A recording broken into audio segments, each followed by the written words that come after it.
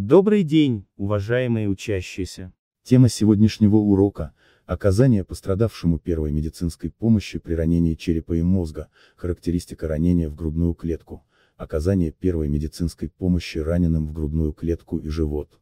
Травмы головы являются одними из наиболее тяжелых повреждений, которые пострадавшие могут получить в результате происшествий. Очень часто они сопровождаются значительным кровотечением, которое может угрожать жизни пострадавшего на месте происшествия. Травмы головы могут также сопровождаться нарушением функции головного мозга. Для черепно-мозговой травмы характерны бледность, общая слабость, сонливость, головная боль, головокружение и потеря сознания. Пострадавший может быть в сознании, но при этом он может не помнить обстоятельств травм и событий, ей предшествующих. Более тяжелое повреждение мозга может сопровождаться длительной потерей сознания, кома, параличами конечностей.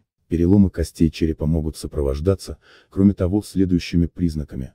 Выделение бесцветной или кровянистой жидкости из ушей, носа, кровоподтеки вокруг глаз. Пострадавшего в сознании необходимо уложить на спину и контролировать его состояние. Если пострадавший находится без сознания, следует придать ему устойчивое боковое положение, которое уменьшает вероятность западения языка и сводит к минимуму возможность попадания рвотных масс или крови в дыхательные пути. При наличии раны надо наложить повязку. В случае, если у пострадавшего отмечаются признаки нарушения целостности костей черепа, необходимо обложить края раны бинтами и только после этого накладывать повязку. При развитии судорог следует попытаться обеспечить профилактику дополнительных травм. При повреждениях глаз следует наложить повязку с использованием стерильного перевязочного материала из аптечки первой помощи. Повязка в любом случае накладывается на оба глаза. При отсутствии признаков дыхания необходимо приступить к проведению сердечно-легочной реанимации в объеме компрессии грудной клетки и искусственной вентиляции легких. Травмы грудной клетки часто наблюдаются при дорожно-транспортных происшествиях. При этом часто отмечаются переломы и ушибы ребер, которые характеризуются припухлостью в месте перелома, резкой болью, усиливающейся при дыхании и изменении положения тела пострадавшего. Помимо переломов ребер возможны и ранения грудной клетки, при которых возможно нарушение ее герметичности, что, в свою очередь, приводит к резким нарушениям в работе легких и сердца. Без оказания адекватной и своевременной помощи это может привести к смерти пострадавшего в течение короткого промежутка времени. Признаками такого повреждения является наличие раны в области грудной клетки, через которую в нее во время вдоха с характерным всасывающим звуком засасывается воздух, на выдохе кровь в ране может пузыриться. Дыхание у пострадавшего частое, поверхностная кожа бледная с синюшным оттенком. Первая помощь при переломах и ушибах ребер. Придать пострадавшему полусидячее положение. Контролировать состояние пострадавшего до прибытия скорой медицинской помощи. Первая помощь при ранениях грудной клетки. Осуществить первичную герметизацию раны ладонью пострадавшего до наложения повязки.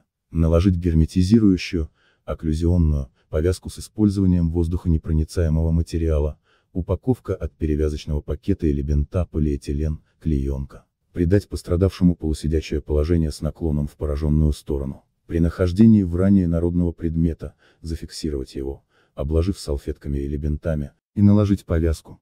Травмы живота и таза. При различных происшествиях возможно получение тупой травмы живота и ранений живота пострадавшим.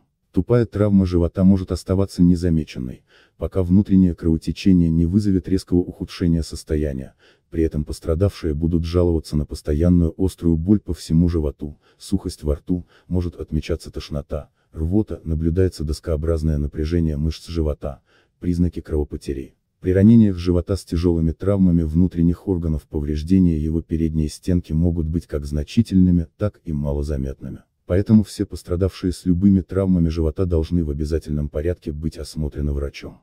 При наличии проникающего ранения живота может быть выпадение внутренних органов, внутреннее или наружное кровотечение. Первая помощь. На рану наложить не тугую повязку. Положить холод на живот, пострадавшему придать положение на спине с полусогнутыми ногами. При нахождении в ране народного предмета, зафиксировать его, обложив салфетками или бинтами, и наложить повязку для остановки кровотечения. При повреждении живота запрещается вправлять в рану выпавшие внутренние органы, туго прибинтовывать их, извлекать из раны инородный предмет, давать обезболивающие препараты, поить и кормить пострадавшего.